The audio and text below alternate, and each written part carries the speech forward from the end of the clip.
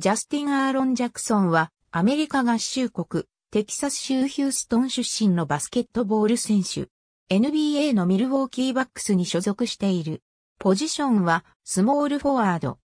テキサス州ヒューストンの高校時代に全米級に逸材として鳴らし、2014年のマクダナルズオールアメリカンゲームではジャーリール・オカフォーと共に MVP を受賞。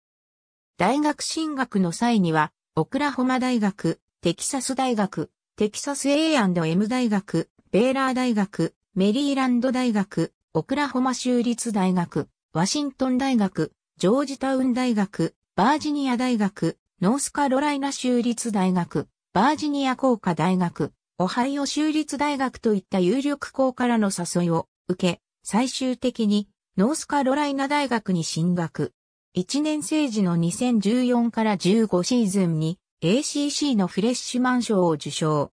3年生時の2016から17シーズンには ACC の最優秀選手とファーストチーム選出に加え NCAA トーナメントで優勝を経験した。ジャクソンは4年生でのプレーはせずに2017年の NBA ドラフトへのアーリーエントリーを表明。全体15位でポートランドトレールブレイザーズから指名された後に、ケンリがサクラメントキングスに移動。2017から18シーズン開幕戦のヒューストンロケッツ戦で NBA デビューを飾った。ありがとうございます。